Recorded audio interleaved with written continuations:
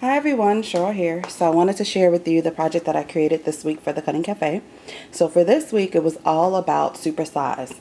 So what we had to do was um, take a file, any file, it didn't matter, and just basically size it up way larger than what it was um, originally.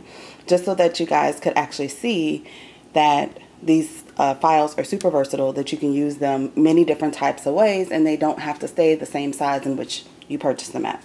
So what you're looking at is um, one of the pieces that I created. This one isn't the one that's supersized. I'm going to show you that in a minute. I used the coin envelope and I actually just altered the envelope. It's not quite the, um, excuse me, it's not quite the um, loaded pocket because I'm not quite done with it. I still have a couple more things to do with it, but I really do like it as is. So this is actually one of the topper pieces that goes in it. So this is actually just a rosette punch, um, one of the Martha Stewart ones, or doily that I've inked up the edges. I did use, the paper that I used was a romance novel 2, but this piece right here is from the romance novel, the original one. Um, you guys can see that. And it's just on a paper straw. And then on the back, this is from Regina's monogram set, and I'll leave a link to that in the description box below. And it's just inked around the edges with black soot. so here is the loaded pocket. It actually turned out super, super cute. I'm actually going to alter a couple more things um, with it as well. And so as you guys can see, there's the pocket down here. Now, before I um, show you what uh, how I did this rather, with the coin envelope, you know you have the little flip in the back that's the round part. I cut that part off because I didn't need it. Um, and you can't see, obviously, on the back because it's covered up with paper. Um, but I just wanted you guys to know for those that do loaded pockets and all um, a lot of the other different things that we do, especially with mini albums, and you need a large pocket to put in there you can use Regina's files for that. She does have a lot of envelope files and you can totally just resize them, make them larger for the size that you need and there you go.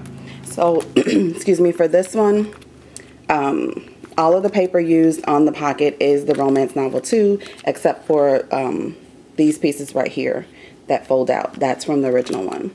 So down here at the bottom is um, paper and then some trim as well as some tiny pearl back trim as well. And then just on the inside is just um, some things I put in there. So as you guys can see, it's a nice size pocket there. And then um, this piece is not completely adhered on because I'm not sure if I want to leave it there or do something different. Excuse me. This is a altar paper clip, one of the large paper clips from Michaels.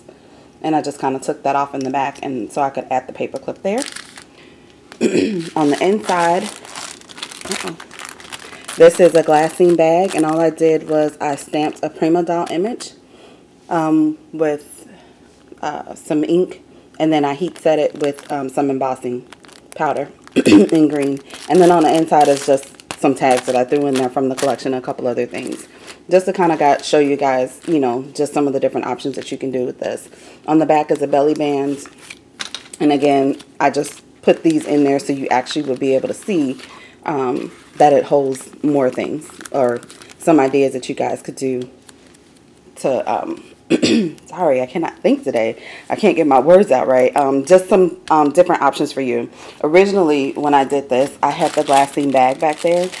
And I may still put the glassine bag back there because I think it looks really cute when you have it like that. But this is the, uh, the pocket. Again, like I said, I love, love, love how it turned out. I think I'm still going to tweak a couple things just because, you know, I think I need more lace.